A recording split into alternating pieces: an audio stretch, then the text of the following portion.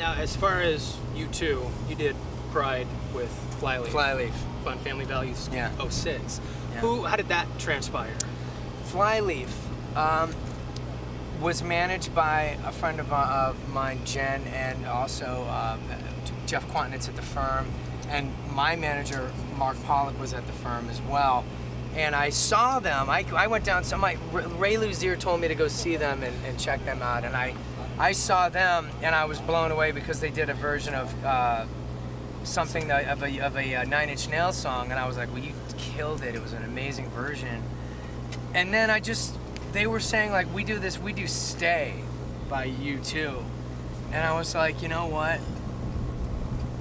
Let's do something on the road, maybe Family Values, and let's try and do something. But I didn't want to do Stay. I wanted to do like something substantial, like Pride uh, something that was just a huge, massive influence on my life. And um, I told her, like, you know, if we do this, we're gonna have to fucking totally bring it because we cannot fuck with Bono. It's got to be like something as elegant as U2 would do. So it was a real, you know, we walked out on stage and did it. You know what I mean? We walked out on a stage and just did it. And and and you know, you can sit in a studio and make these things sound amazing, but we we like brought this energy on stage. It was a really exciting moment. I probably that's probably one of the proudest moments of my life as far as being technically singing and, and having to bring Bono. That was a big that was a big deal. So I was very proud of that. And especially Lacey and everybody with Flyleaf, they're, they're totally amazing. I'm so proud of them, and I, I'm so glad that they're s- having success. And they're devout Christians, and I'm very, I'm, uh, you know, I was very humbled by their beliefs, and uh, you know, it's, it's, it was, it was interesting. It was really beautiful. So would you work with them again? Sure, And we have that on record. I would work with them again. Um, one, did you record it for the X Files soundtrack? That was Chris Carter himself called and wanted something uh, that sounded similar to Hey Man Nice Shot, but he was really, really, really, really on it. And They really, and I was right in the middle of title, and I didn't want to do it. And they just kept saying like, "We want you to do one is the loneliest number," and I was really like, I was just not. I just wasn't making the connection, and finally I was like, you know, you know, I don't want to piss off the X Files guy. He's a immensely cool human being. I better do it. So I did it, and it was really amazing because my brother Robert had the opportunity to go work with him again, and and it was amazing. He's like, he's like, yeah, Rich. He's like, yeah, Robert, I love your, I love your brother. He's rich. He's just really, he really, he's really aggressive, and he goes for his, his local. So it was a, it was a, it was a win-win for both me and my brother to, to kind of meet Chris Carter. Trip like I do. Mm-hmm. Did did the label pick Crystal Method for you to work with? My Or- manager, Richard Bishop, is their manager. That's how some of these things happen. He played me. Uh, he played me um, their record, and I heard "Trip Like I Do," and I just took the song in a in CD form and, and put it in my computer and cut it up and played like two or three guitar parts over it, and then wrote all these vocals and sang it to him over the phone and said, "What do you think?" Because they wanted to do a record where it was rock meets electronic, and we were, you know, with with filter. With, well, I was already kind of electronic, but they were really electronic. And, anyways, it was just one of these moments where it was just it just clicked, and it was just a great experience. And and uh, you know, I'd love to work with them too again. Now Frank played with you guys last month No, he played with us in March. in March. How, how He's in Iraq. He's doing good. His brother is here today. I can't find him though because he, he called me at the last minute and said I'm on my way, and I'm like, ah, Woody at the North Gate. I don't know like how this place works, but uh, Frank is doing well. He um, uh, he's in a part of Iraq where you know the, I guess the surge is kind of working, and um, you know which I guess that means they're just not going to kill each other and kill us.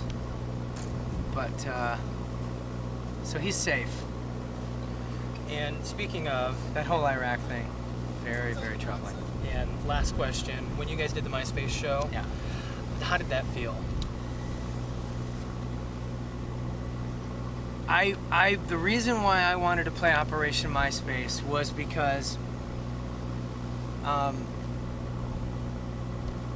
I wanted to put, especially with Frank coming out and playing Hey Man Nice Shot with us, I wanted to put a human face to the word troop. Because just because these guys are volunteers, you know what I mean?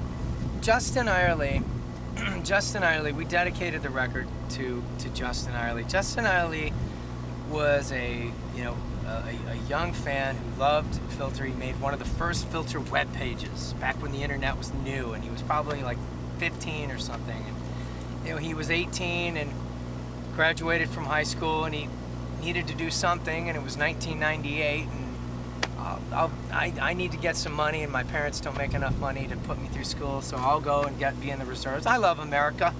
I'll be in the reserves. I could do the military. I think I can handle it. I, I get some money. I can go be go study computer science. Well, you know, 1998 turns into 2002, and they pull him out of his third year, or no, his senior year actually, of college.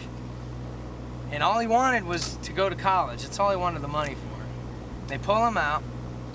They ship this 22 year old kid now off to Baghdad. He's there for 10 days and he gets killed. And that's the story behind a lot of what this war is about. They've they haven't used enough troops to gain security until they really just overly applied the army and gotten you know everybody out there for this surge. They've kind of got a little stability now. But how you gonna how you gonna sustain that? And it's just I just it's just a it's a war based on lies. It's it's it's we're, we're not over there because we love the Iraqis. We're, we're over there because we want their fucking oil. That's really that's the reason. And everyone should know that. And Americans should fucking know that and they should fucking be aware like like I don't I can't believe every like I'm I feel like I'm the only band saying this. Like I feel like I'm the only like I mean I know there's more. I know Everlast is saying some things.